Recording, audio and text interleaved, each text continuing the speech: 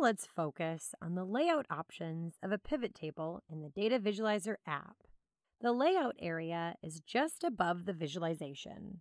The output, in other words, the layout or appearance of the pivot table, is defined by where each main dimension is in the layout area.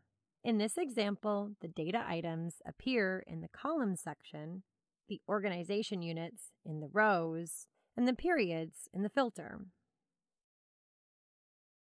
You can hover over each of the icons in the layout area to see the selected options for each item. The layout area makes it easy to move the dimensions to different sections.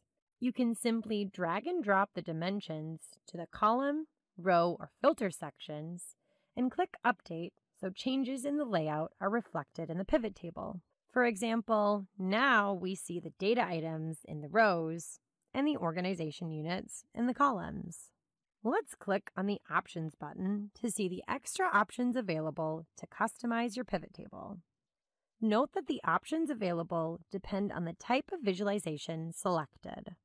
We can add column and row totals and subtotals in the Data tab, or hide empty columns and rows by ticking the boxes.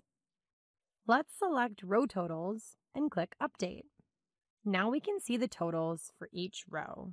By clicking on the File menu, you will be able to create a new visualization, open an existing saved visualization, and save your current visualization. When saving a visualization, we recommend you follow a naming convention that mentions your three main dimensions.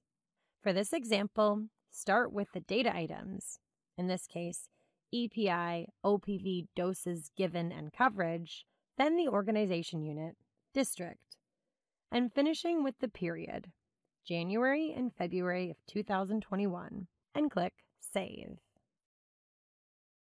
You can also rename and translate the name of the visualization, share this visualization with other DHIS2 users, get a link for the visualization, or delete it.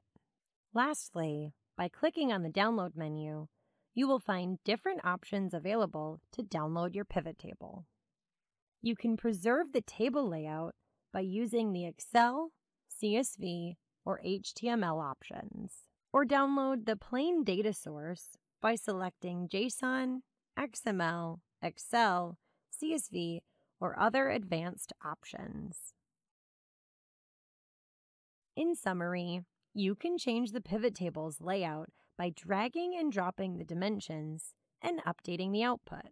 Options can be added to customize the pivot table. The File menu allows you to save, share, or delete the pivot table, and the Download menu allows you to download the output in different formats to use outside of DHIS2.